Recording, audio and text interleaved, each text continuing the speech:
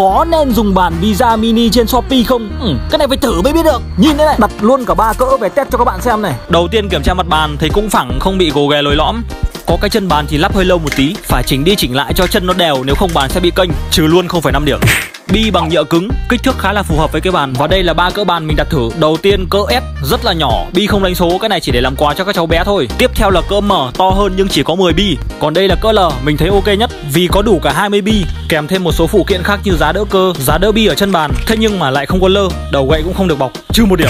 Chắc chắn một điều là không thể nào bằng bi ra thật. Nhưng mà chơi cũng vui phết. Đang dịch làm bàn ở nhà bắn cũng được. Còn nữa đó là cái mặt bàn này khi nó cũ thì không thể thay được. Trừ một điểm. Tổng kết lại 7,5 trên 10 Ok các bạn ơi